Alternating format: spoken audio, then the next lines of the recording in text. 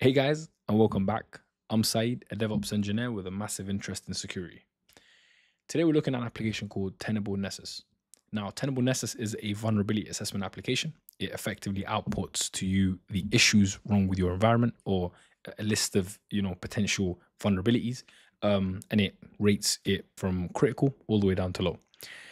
It also offers with your vulnerabilities remediations. So it's not just that it gives you issues, it also gives you how to solve those issues. I know we can see a number of different um, price plans here. We won't be signing up for the four thousand pound a year one, nor the eight thousand pound, nor eleven thousand. We're not paying anything for it today. We're going to be running it, deploying it on Docker, super quick for you guys, adding that DevOps twist to it, making it super easy, breaking down that concept, the difficult concept, into bite-sized, practical, uh, hands-on projects, such that you by the end of this video, hopefully, we'll be able to at least gauge a better understanding on how to use the application and at the very least, um, be able to explain it to somebody else.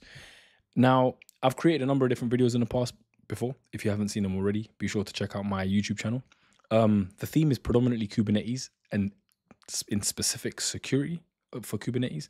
Um, so I have a playlist that I've, um, I've, I've consolidated together of 24 videos of security best practices, as well as other projects like uh, you know running Splunk uh, a Splunk indexer as our SIEM and ingesting data, and then also of course getting the output of that data, as well as Kafka um, running Kafka uh, container, building it out from its image right the way through to the container, and then deploying it on Kubernetes. So yeah, if you do enjoy that, be sure to check out my channel and also consider subscribing. I've also got a X account, so if you'd like to follow me on that, you can do that. The link should be down below in the description box, as well as my LinkedIn page too. Now, without further ado, let's crack on and let's run this on Docker. I'm going to minimize that. So I've got my, my terminal here. Um, first things first, you need to pull down the image if you haven't already. So that will be Docker pull, of course, and I will be providing a README page too. So you should be able to hopefully in the description box select that and follow through it step by step. Now I've already pulled down the image. Um, so if I do images, ls, you'll see the Tenable Nessus uh, image right there. Now what we need to do is effectively build out a container using that image. So we'll just go off and hit docker run. I've Got that up. Do, do, do, do, docker run. There we go. So I've got that run right there. So, so if we hit that, we've got the host name, we've provided it Nessus, and we've also got the port that we've specified, as well as the um, the image. So that should build out. So to save time, obviously I'm gonna leave the logs up there for you guys to have a look at to keep an eye on. Um, let me actually close this plane here and do the same here. Yep, and we'll just open it to the side. Cool. So now if I hit docker ps, I've already ran the image.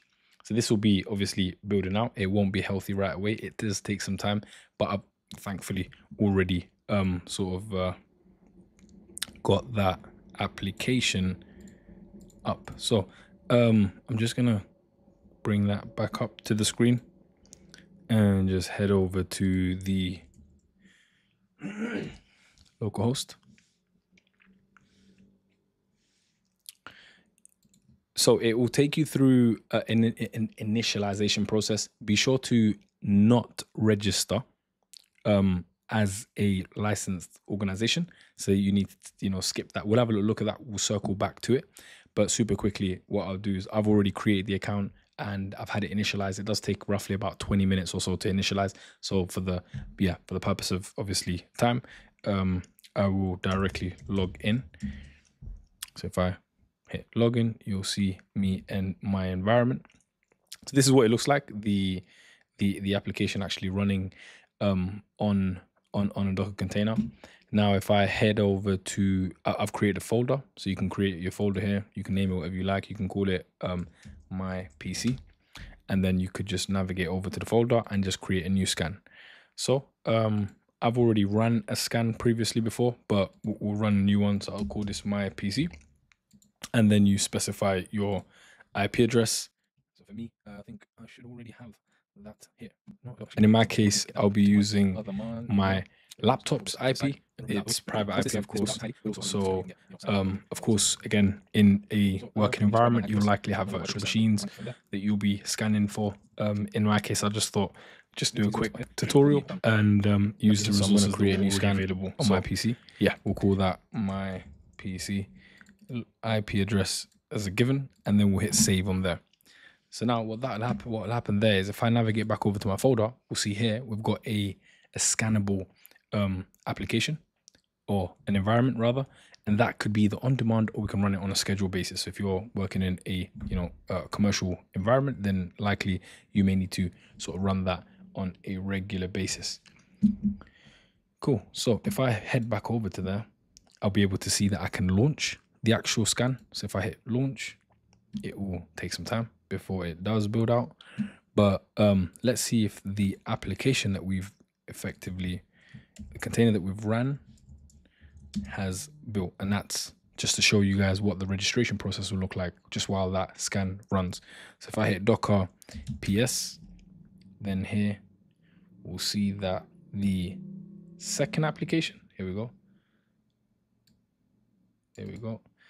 So let's open up Docker Desktop super quick to get a better view on it. There's two ways, obviously, you can run Docker if you didn't know already. There's the Docker desktop application that gives you a sort of UI looking um, front. And then there's obviously the CLI. I prefer to use the CLI only because at work, um, I work with within a Linux environment, and we actually, I mean, as I can, of course, install um, Docker desktop, but I just prefer for seamless flow and integration to just use Docker directly from the from the CLI. Excuse me. Cool. So um, the image that we that should take us over to our environment. Okay, cool. So that's not liking that. Perhaps it's because of the port. Let me provide it a different port. So if I head over to the container and I just say here view details. What I could even do is using the image use a different port. So yeah, from this image, I'll remove that out of the way. From the image here directly, I could just run it and just provide it a different port. So that didn't like that port. So we'll say this to be 8835. there we go. Just give that a minute to build out and then hopefully have a little look to see whether that's completed. Yep, my PC scan has completed. Um, we can see here there's two vulnerabilities.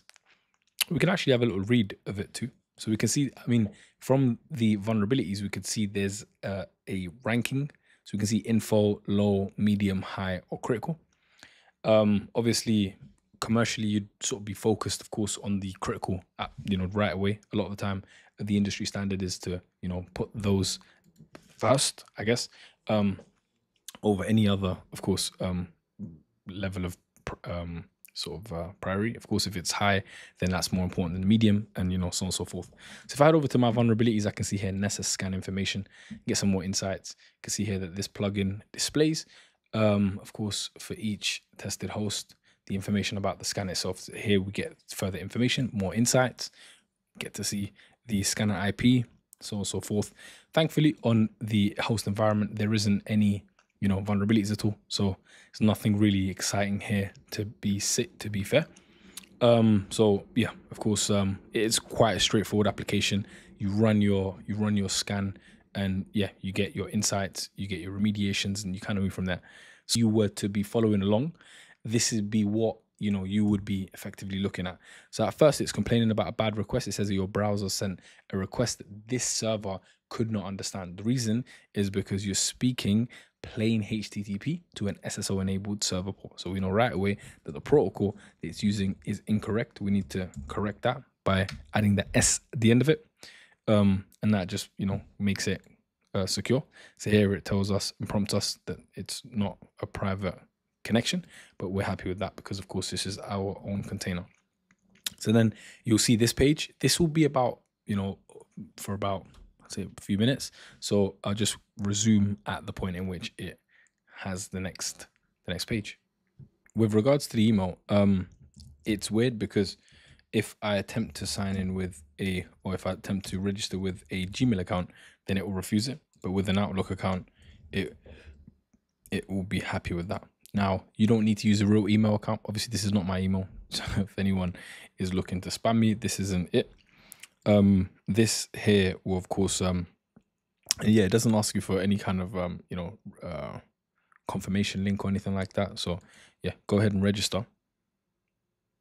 Once it's happy with that, it should take you over to give you your activation code, which you don't really need.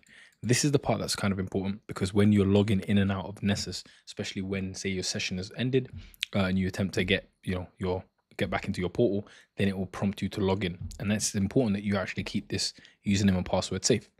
So I'm going to give it a username and a password. Make sure you keep a note of that. Obviously, you can always show your password, take a screenshot of it. I probably wouldn't advise it to be fair with you.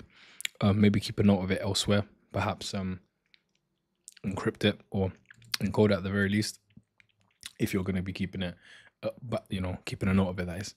So when you submit it should take you over and it will just load for a few moments. Once this installs the entire plugin we'll get the idea. So this is effectively the stage that i am at with the other application the one or the other container. So this is you know where it takes you effectively and yeah this is basically where, where you kind of get you know actual insights and actual you know intel into your application. So that's effectively the entire application in a nutshell. Um so yeah you get you get you get the idea of how the application works. It's awfully similar to uh, Trivy if you've seen um Trivy running in a kubernetes environment you'd run Trivy and it will give you back all of you know the vulnerabilities um or the issues that you know the that, that you may face or within your image, uh, as well as obviously KubeBench as well as another one that helps with um, with with sort of um, your vulnerabilities. I think that was from CVE, where you just simply run the application, you run the command, and it will effectively output a number of different issues wrong with your environment, and it will give you those remediations for them too. So that's quite handy. Uh, it's a really, really good application to know, and it's another one you can now put on your CV once you obviously start practicing it further.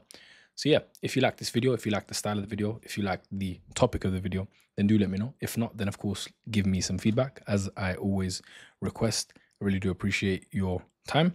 Thank you very much and have yourselves a lovely day on the next one.